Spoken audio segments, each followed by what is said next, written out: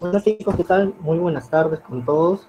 Muy agradecido por esta oportunidad de poder exponer siquiera algunos lineamientos, algunos avances que he tenido durante esta investigación que estoy realizando como tesis. El tema en general, en que engloba incluso mi tema de tesis, es este, biotecnología aplicada a residuos hidrobiológicos.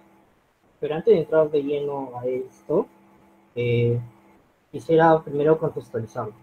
Para ello, nos vamos a ir hasta lo que es la revolución industrial a mediados del siglo La primera, para iniciar, fue desarrollada en Gran Bretaña y se caracterizó porque en esta época se creó el concepto de fábrica, se creó lo que son las famosas líneas de producción masivas y lo que buscaba era mayor productividad a menor costo.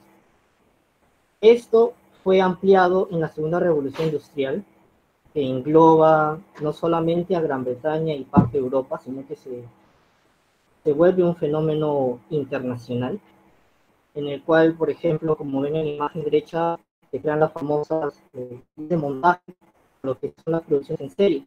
Por ejemplo, ahí vemos pues a, a la creación de un modelo Ford, por ejemplo, Henry Ford fue uno de los pioneros en este tipo de metodologías de producción, en el cual se generaban aproximadamente cada cinco minutos un modelo T, su modelo más famoso de auto, de manera completa y sin errores. Ahora, ¿qué tienen en común estas dos revoluciones industriales hasta mediados del siglo pasado? Pues que se basaban en lo que era economía lineal. La economía lineal es básicamente la extracción de materia prima para después transformarlas en un producto que puede ser consumido generalmente y finalmente se genera un residuo de ello. ¿Cuál es el problema? Creo que la gráfica que ven abajo lo describe. Hay una generación de residuos y no hay aprovechamiento. Eso quiere decir que implica una sobreexplotación de los recursos y por ende la naturaleza está siendo depredada. Es así que salió otra tendencia de economía, que es justamente esta, que es la economía circular. Que va de la mano con un concepto que llamamos economía verde. Ahora, la economía verde, en pocas palabras, relacionar sostenibilidad con energías renovables, lo cual implica de que haya un mayor bienestar a nivel de naturaleza y que, y que ello conlleva a la generación de nuevas clases de empleo Dentro de esta economía verde ya sale netamente la economía circular, que es en la gráfica, que ustedes ven en la gráfica de la mano derecha el círculo, el cual se basa principalmente en diseñar productos que tengan la capacidad de utilización de los desechos generados por este, con lo cual se optimizan los recursos naturales y al mismo tiempo al empresario le conviene porque no tiene que invertir tanto en stock de materias primas. Ahora, si bien ya hemos hablado de lo que es la economía circular, ¿cómo le relacionamos con la biotecnología? Bueno, acá entra el concepto de biorefinería. Según Muñoz, en 2014, él define la biorefinería utilizando tres palabras, biomasa, sostenibilidad y producción. Cuando son tecnólogos, curso de biotecnología, a ver de nuevo esta parte. Con respecto a lo que es una biorefinería, entonces se define como una instalación industrial que utiliza la biomasa de forma sostenible para producir sea biocombustible, sea energía, sea algún compuesto químico o algún producto con valor agregado. Como ven en la imagen, la biomasa pueden ser desperdicios, los cuales son procesados dentro de la biorefinería y se vuelven de nuevo productos. Ahora, ya hablando netamente de la decisión que, refiere, que se refiere a lo que son residuos hidrobiológicos. Bueno, la FAO ha determinado en el 2014 que a nivel mundial son generadas 70 millones de toneladas de pescado. Y un mismo estudio de esta entidad en el 2016 dice que 29 millones de toneladas de los de desechos son derivados de la actividad pesquera. Ellos dan en cifras de que de un pescado promedio es aprovechado aproximadamente entre el 30 al 50%, lo cual quiere decir de que más de la mitad del pescado en la industria es desechado como residuo. Ahora, antes de continuar con, e, con esta breve exposición, hay algunos conceptos que hay que tener claro. Primero es el de hidrolizado de pescado. ¿Qué es un hidrolizado de pescado? Son proteínas de pescado que se descomponen en péptidos de diferentes tamaños. Ahora, la hidrólisis es básicamente un proceso físico-químico que busca a partir de una proteína generar péptidos de menor tamaño. La importancia de estos péptidos de menor tamaño es que son más fácilmente asimilables por otros organismos. Otro concepto también que aquí hay que ver es el de fertilizante. Según la norma técnica peruana de 2014, la NTP, lo define fertilizante como un producto del cual al ser aplicado al suelo o a las plantas, suministra uno o más nutrientes esenciales necesarios para su crecimiento y desarrollo. Entonces, si nos damos cuenta, tanto el concepto de hidrolizado de pescado como el de fertilizantes se relacionan. Entonces, ahora les comentaré sobre, brevemente sobre dos estudios que son bastante importantes para sobre este sobre esta temática de los residuos hidrobiológicos. Por ejemplo, la tesis de Flores de 2017, un ingeniero pesquero, se encargó básicamente de producir un biofertilizante líquido a partir de los residuos de trucha. Él realizó hidrólisis enzimática, seguido de fermentaciones, y logró valores de NPK bastante altos respecto a otras especies. ¿Qué son los NPK? Pues son nitrógeno, fósforo y potasio. En la actualidad se utiliza esta terminología para definir la calidad o no de un fertilizante. Posteriormente van a ir escuchando valores de NPK porque son los referentes. Por otro lado, tenemos a Leticia Fernández en el 2018, cuya tesis es sobre un ensilado. El ensilado básicamente es una masa pastosa que ha sido sometida a una fermentación o a una hidrólisis. En el caso de ella, utilizó los residuos de lisa y los utilizó como sustrato para nutrir a, esta microalga, es una clorofita.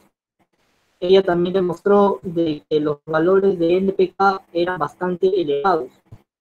Y esto tiene sentido con la realidad, porque el pescado eh, es una fuente grande de, de proteína y además es, mejor dicho, es posible la hidrólisis de estas proteínas para después su reaprovechamiento. Entonces, teniendo en cuenta ello, es que se propuso este modelo, de, este proyecto de tesis, que ahora ya es tesis, porque ya está aprobado, que es el hidrolizado de residuos de pescado como fertilizante y modificador de microbiota del suelo para el alfalfa. Con lo que me refiero a fertilizante de la microbiota es de si bien actúa como fertilizante, ya que como vimos anteriormente, los residuos de pescado y, el concepto de fertilizante se relaciona, añado la parte de modificador de microbiota porque al suministrar este fertilizante al suelo, puede generar, o mejor dicho, tiene un efecto en la microbiota, en los microorganismos que se desarrollan alrededor del alfalfa en este caso. Ahora, ustedes me dirán, ¿por qué alfalfa? Bueno, eso es parte gracias al contexto en el cual ha sido desarrollado mi, tesis. Esta tesis es parte del proyecto PINEPA, como vieron anteriormente en esta diapositiva, el Programa Nacional de Innovación en Pesca y Acuicultura, y consistía en generar no solamente un producto a partir de residuos, sino de que éste tuviera un impacto social. Para el caso de mi tesis, la parte social es de que este proyecto va a ser posteriormente, cuando a instruir a una comunidad en Rochirí, ellos van a recibir las técnicas y las metodologías para que puedan replicarlo de manera artesanal. Nos damos cuenta de esta forma de que los proyectos no solamente tienen que ver con la, la biotecnología en sí como concepto, de generar un producto, sino que también tiene que tener un impacto social. Y ello se relaciona mucho con el concepto de economía circular, porque la economía circular, que va de la mano con el concepto de economía verde, implican de que la población sea la beneficiada de ello, en contacto obviamente y en armonía con la naturaleza. Ahora, volviendo a, la tesis, como vemos acá en la gráfica de la mano izquierda, Lima y Lima Metropolitana, estos son datos de Minagri del año 2017, producen cantidades enormes de toneladas métricas de alfalfa respecto a otras a otros lugares, otros departamentos del Perú. Hablando de la comunidad a la cual yo estoy este, ligado por la tesis, que es Matucana, el 70% de sus campesinos trabajan con el El detalle es de que ellos no suministran fertilizante alguno, solamente lo hacen mediante río con agua y por inundación. Ahora, el detalle de la inundación es de que si está mucho tiempo inundado el terreno, las raíces de, la misma alfalfa van a carecer de la oxigenación necesaria y se podría decir que se van a ahogar. Entonces se les genera estrés. Entonces en vez de sobreahogar o inundar demasiado, sería conveniente aplicar un fertilizante que vaya acorde a los requerimientos nutricionales del Además, como vemos en la, siguiente gráfica de costado, esto es del Ministerio de Agricultura también, del Minagri. En el 2018 se lanzó una campaña para impulsar la producción de hectáreas para pastos y forrajes. Han visto que prácticamente en todo el Perú, 22 regiones del país. Y esto es importante porque la alfalfa es la principal especie forrajera en, el Perú. Entonces, al final se va englobando el concepto tanto de biotecnología con economía circular y sostenibilidad, y en caso se contextualiza a Perú. Ahora, acá vemos, esta es una imagen muy básica de, de la alfalfa, la tabla taxonómica está a su mano izquierda, una imagen de ella al medio, y a la mano derecha, que es lo que nos interesa, están pues los requerimientos nutricionales para una tonelada.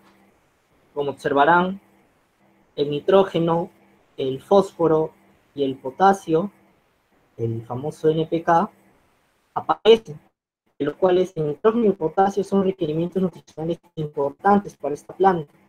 No tanto el fósforo, sino el calcio, pero ello es normal porque no todas las plantas van a requerir en la misma, en la misma proporción los micro y macronutrientes. Ahora, ya hablando de mi tesis netamente, se planteó hipótesis, que es el hidrolizado de los residuos de pescado, van a producir cambios en los microorganismos de suelos y por ende van a mejorar el rendimiento cuantitativo y cualitativo en dos variedades de alfalfa, porque yo estoy probando mi tesis en estas dos variedades que son la CUC 101 y la Orcus 901. La particularidad de estas dos variedades es que la de la mano izquierda fue diseñada por el Departamento de Agricultura de Estados Unidos y la de la mano derecha fue probada en Argentina. Por dicho, fue modificada en Argentina. La de la mano izquierda tiene mayor resistencia a pulgones y la de la mano derecha tiene mayor resistencia a nematodos. Eh, cinco tratamientos. Ahora, estos cinco tratamientos son un control, que sería el que no tiene nada, el control negativo, solamente río con agua. Después había otro que es el control positivo, que sería probando un fertilizante comercial. Curiosamente, los de Matucanas no utilizan ningún tipo de fertilizante, pero mi asesor me sugirió que utilizara lo que en otras partes de Perú usan, que es la uria. Entonces he probado hasta ahorita riego con solo agua, uria y los otros tres tratamientos son las tres dosis que estoy probando del fertilizante que se ha producido. Ahora, si ahí dos variedades por cinco tratamientos por tres repeticiones, son 30 unidades en total de mi. Ahora, esta parte es poco compleja, solamente voy a dar lineamientos generales de, de ello. Lo que se hizo básicamente es sembrar las alfalfas en hileras, como ven en la imagen. Ese soy yo en, en, el día en que me tocaba fertilizar. La alfalfa es una planta bastante particular porque requiere un proceso de adaptabilidad al terreno para que ésta después pueda ser utilizada como forraje. Si bien la alfalfa tiene la capacidad de crecer incluso como maleza, el que crezca como maleza no significa que la calidad de esta sea buena. Por ello es necesario hacerle lo que se llama el corte de uniformización, que implica sembrar las semillas, regarlas durante un periodo de mes y medio a dos meses. Sería mes y medio si fueran condiciones frías, pero como ha sido en temporadas cálidas, han sido dos meses. Y después de ello recién se le hace la cosecha, o lo que se le llama el corte. Después de ese corte, en el cual ya la planta ya se acostumbró a las exigencias del mismo suelo, ahí recién suministro el fertilizante. Y entonces, luego de ello, ya se hizo un primer corte y un segundo corte. Ahora, por motivo de tesis y por el laboratorio en el cual estoy, no puedo revelar yo todavía todos los detalles de, de esto. Lo que sí les puedo decir es de que la tesis que estoy desarrollando sí tiene un impacto positivo a nivel de, de productividad, porque utilizando cantidades mínimas de este fertilizante, yo ya estoy haciendo la, la análisis de datos, se ha demostrado que efectivamente el fertilizante ha influido en el crecimiento de la alfalfa en corto plazo. Si ponemos un periodo de cuatro meses, que ha sido mi tesis, de los cuales, o sea, en la parte de campo, de los cuales los dos primeros meses han sido para que la planta se acostumbre al terreno, un mes para hacer un corte y otro mes para hacer el otro corte, en estos dos últimos meses ya han habido diferencias en el crecimiento, inclusive el crecimiento con unas dosis intermedias del fertilizante han sido bastante exitosos comparados al de las alfalfas que solamente desecha urea. Cabe resaltar, y no lo había señalado y me disculpo por ello, de que este fertilizante generado a partir de un hidrolizado de residuos de pescado contiene micro y macronutrientes los cuales también tienen un efecto como repelente de, plaga. Los contextualizo. En el terreno en yo estoy, existen las llamadas moscas blancas. Las moscas blancas comen y carcomen las hojitas del alfalfa. Cuando yo he suministrado el fertilizante para para buena suerte, por así decirlo, ya no ha habido efecto de la mosca blanca. Mientras que cuando estaba en periodo de uniformización, o sea, cuando la planta estaba en ese proceso de adaptación al crecimiento en este suelo, ahí sí habían problemas de, de plaga, porque la mosca blanca venía y como no había ningún repelente, por así decirlo, ellas carcomían las hojas. Eso también obviamente generaba una debilidad de ella, ¿no? Aquí con todo esto. Como verán, este es un vistazo bastante general y bastante resumido de lo que es la aplicación de biotecnología a lo que son residuos hidrobiológicos. Para lo que es la generación de residuos hidrobiológicos, es necesario entonces primero tener claro qué tipo de microorganismos necesito utilizar, porque, por ejemplo, existen muchas clases de porque los MOX, los mecanismos benéficos, que pueden ser lactobacillus, pueden ser bacillus, que se encuentran en, la misma microbiota del suelo, los cuales tienen capacidad de fermentación en condiciones óptimas. Ahora, por otro lado, también, como me entenderán, mi, mi, parte es más aplicativa que de producción. Si bien yo he visto la parte de producción, de ellos he encargado el tesista que me antecede y por ello que no puedo revelar la, toda la información de, de su tesis. Pero al final, lo, lo, importante de todo ello es entender que la biotecnología es una herramienta, es una ciencia, mejor dicho, que todos nosotros, los que estamos este, estudiando carreras afines, debemos considerarla para, para aplicar no solamente por generar conocimiento, sí, en conocimiento en sí o por generar dinero. Porque si bien es cierto que todos necesitamos plata, hablando con la verdad, también debe ir de la mano con el factor social.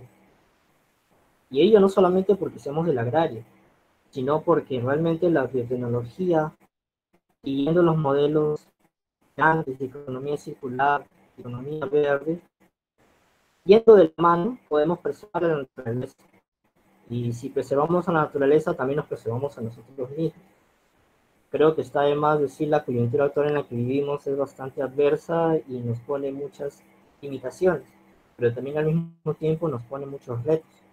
Uno de estos retos es este, este mismo que les he intentado dar algunas pautas generales, el cual es aplicar biotecnología en favor de la población. Esta es la bibliografía que he utilizado para la exposición. Está para cualquier consulta.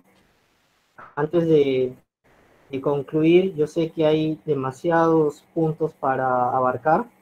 No he hablado tanto de la parte microbiana por motivos ya dichos. Podría dar otras alternativas de, de reutilización de los residuos hidrobiológicos, sí, no solamente tienen uso como fertilizante, también son utilizados como harinas para alimento, también son utilizados como intermediarios, como dicho, para la extracción de ciertos péptidos que pueden ser aplicados en otras industrias. En general, el límite solamente es la capacidad de uno mismo para indagar e investigar y también el financiamiento en sí, porque hay que ser sinceros, sin financiamiento no se pueden realizar investigaciones de este tipo.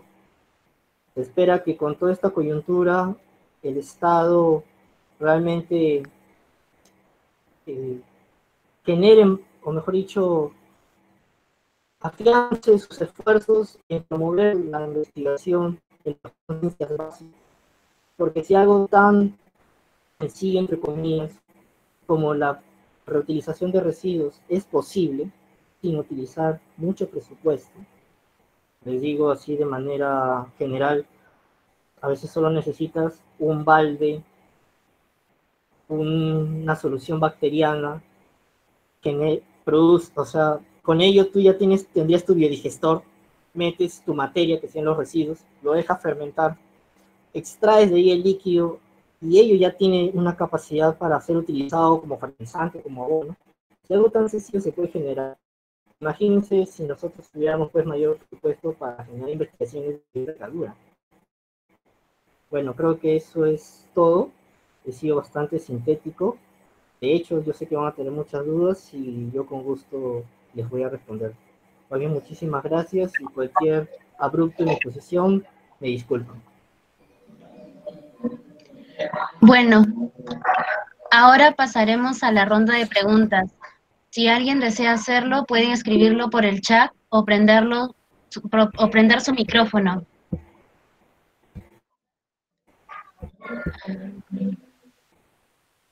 A ver, um, acá hay una pregunta. Eh, ¿Crees que, es, que este fertilizante podría ser suficientemente competitivo en el mercado? Ok. Buena pregunta y sí te la puedo responder con, con números. A ver, eh, en el mercado actual ya existen ya fertilizantes, incluso Por ejemplo, no sé si han escuchado del famoso Baifolán, producido por Bayer. Este fertilizante contiene inclusive hormonas, eh, el famoso NPK, nutrientes, pero el costo, es caro. La manera en que puede ser rentable lo que yo les estoy comentando de la aplicación de residuos es si en la parte de acá, en la parte de biomasa, se tiene una gran cantidad. Y obviamente también requiere de la inversión que uno mismo tenga. Hablando yo de algunos números propios de mi tesis, les comento pues que para el proyecto de investigación se generaron aproximadamente 50 litros a partir de unos 56 kilos de residuos entre lisa, bonito y pejerrey. Lisa, bonito y pejerrey se, se recaudó todos estos residuos, fueron obviamente separados, fueron trozados, molidos, llevados en este caso a un bioreactor para que, sufran todo su proceso de, fermentación que requiere para de ahí obtener la parte líquida, que es lo que yo utilizo, o sea, el hidrolizado. Y si sale rentable solamente cuando es una gran cantidad de, biomasa. Por si no, no también requiere, como lo dije antes, de inversión de tanto de los bioreactores que se utilicen, como la compra de las enzimas y del ácido y la base necesarias para poder hacer todo el proceso. Bien, ah, hay otra pregunta. ¿Qué otro tipo de residuos se puede usar para generar fertilizantes o productos parecidos? Excelente. Ya. Con respecto a esa pregunta, se ha, demostrado de que residuos orgánicos en general pueden ser utilizados para reaprovechamiento. Por ejemplo, no sé si ustedes han o saben lo que es un biodigestor. Es básicamente una estructura que puede ser como si fuera una bolsa o puede ser un gran balde cerrado en el cual se mete la materia en descomposición sean, por ejemplo, residuos de fruta, pueden ser residuos de, de lo generado en la, universidad, por ejemplo, se genera a partir de los residuos generados en zootecnia, de la merma de los porcinos, del ganado vacuno, todo eso lo metes junto con bacterias, lo cierras, tienes obviamente un sistema para poder liberar el gas metano generado y ahí adentro se genera la fermentación y ese fermento generado tiene alta probabilidad de ser utilizado como compost, que como sabemos tiene potencial como abono orgánico. Entonces sí, se pueden utilizar diferentes tipos de residuos orgánicos provenientes de la actividad ganadera, de frutales, de hortalizas, yo, por ejemplo, he estado trabajando no solamente con residuos de pescado, sino también con residuos de palto, y también se puede. Entonces, cualquier residuo orgánico sí tiene potencial para ser aprovechado como fertilizante. Bueno, acá hay otra pregunta, disculpe. Eh, no hay problema. ¿Con qué otras plantas de importancia económica es eficiente usar este fertilizante? Ok, con respecto a la importancia económica del fertilizante, bueno, yo lo probé en alfalfa como ya expuesto, está relacionado a la tesis, pero anteriormente también he, he leído que podría ser aplicado en palto. Y la palta también es una industria acá en Perú que también es importante, especialmente para lo que es exportación. Además, cabe resaltar de que el mismo reto de que sea un residuo hidrobiológico generalizado hace que los estándares también sean, digamos, más amplios. ¿A qué me refiero? De que los márgenes que voy a utilizar por ser un producto heterogéneo pueden ser más amplios. Es decir, quizás para el determinar pH ideal no puede ser quizás 7, sino puede ser entre 6 y 8. Y genera un producto que para mi caso sirve para alfalfa.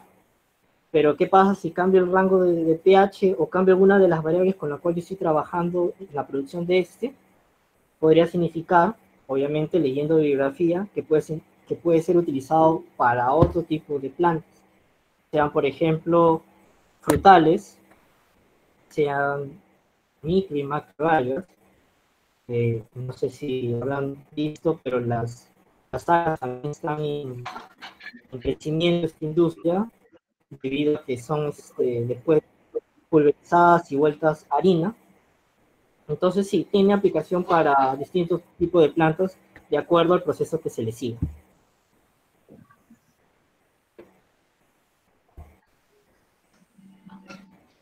¿Tienen alguna pregunta más, por favor, que podrían hacer? Bueno, en vista que ya no hay más preguntas. Ah, sí. Disculpa. Ah, ya estoy viendo la pregunta. Sí. sí, ¿qué te motivó a realizar esta tesis? ¿Qué laboratorios en la universidad se especializan en este tema parecido? Ya, muy bien.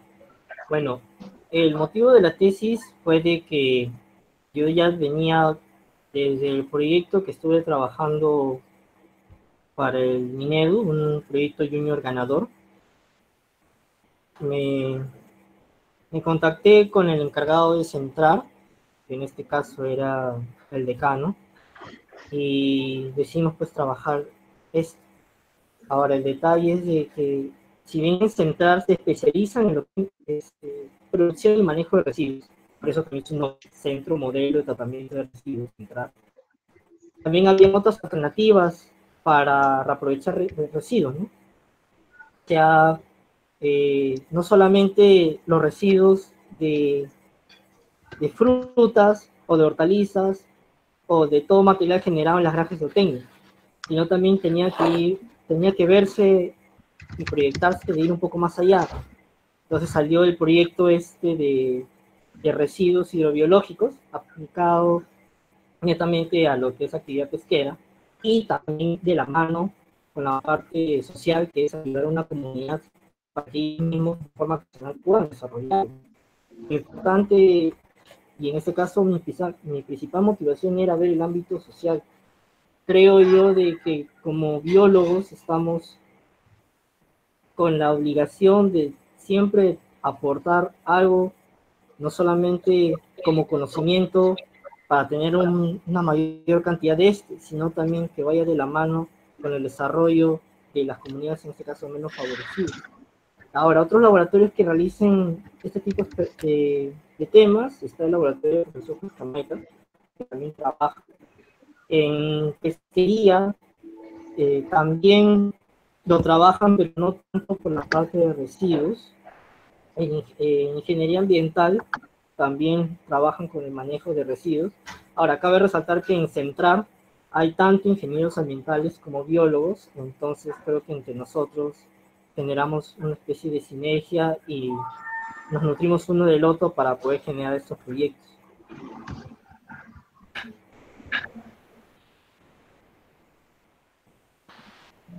Bien. Disculpen, ¿tienen alguna pregunta? Ah, sí, tiene, hay una pregunta. Ah, eh, ¿Cuál es el nombre de la especialización de biotecnología? ¿Está siguiendo que se relaciona con este tema? Ah, ya, más, o sea, mi especialización es eh, la gestión y manejo de residuos sólidos. Ahora específicamente por motivo de la tesis es en residuos hidrobiológicos. Y esto se, se desarrolla dentro de la agraria en el Centro Modelo de Tratamiento de Residuos, que es Central, que es el laboratorio en el cual yo soy tanto asistente de laboratorio como tesista.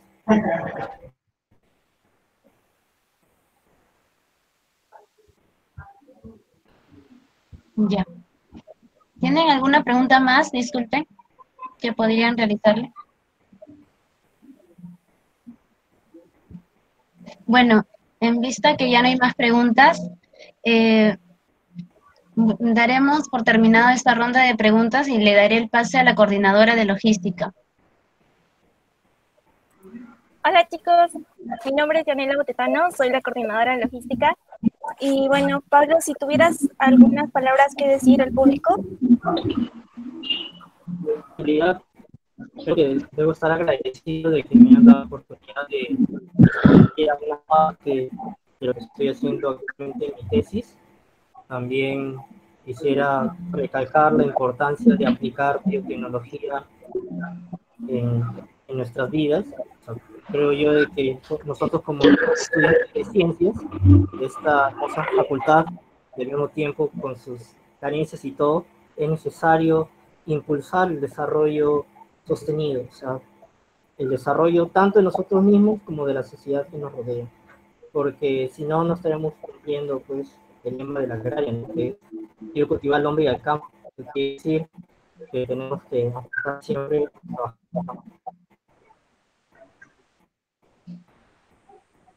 Muy bien. Mm, muchas gracias por ofrecernos tu, conocimiento y a todo el público también. Muchas gracias nuevamente, paralelamente a ustedes los oyentes, por seguir esta ponencia que ofrecemos. También dar las gracias a los organizadores de Nexus, Club, Facultad de Ciencias y Centro Federado de Ciencias. Gran equipo que hace posible que estos eventos se realicen.